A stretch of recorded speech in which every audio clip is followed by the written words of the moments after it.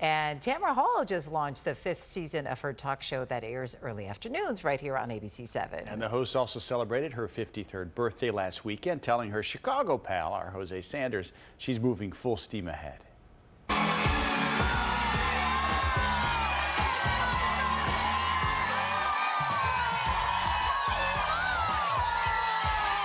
That is a major milestone in this world. You got to be feeling some kind of way. From when I was in Chicago as a reporter, you were one of the last people I saw before I got in my car and drove to New York and set off on this journey that's now led us to season five of the show. So thank you for always being there and believing in me and being a real one. Now you and I represent things that young journalists can see and they'll be able to dream past us. Well, this sure really touches you right where you live, literally, because of this journey you've been on with the whole thing and your blessing of little Mr. Moses coming on with your show. I mean, that all fits into your theme for this year, right?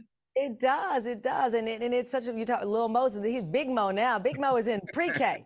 Uh, you know, my son has such a connection to Chicago. First day of school, what he he wanted to wear his Walter Payton shirt. How are you different now from the person you were five years ago when you first started this journey? You have to keep it moving. You have to keep that Chicago hustle. You know that that that spirit of I'm not here for one thing, I'm here for many things. And so I've just launched my second novel. It's based in Chicago. We just uh, revealed the new cover for Watch Where They Hide. It follows Jordan Manning, uh, a journalist, much like myself, in Chicago, a reporter. Is it surprising to you that journalist, businesswoman, mom, modern woman, that the yeah. first thing people talk about is Tamron got a new haircut. I like it. Listen, I, I, I, my hairstylist Johnny Wright from Chicago. He wants my hair to make a statement.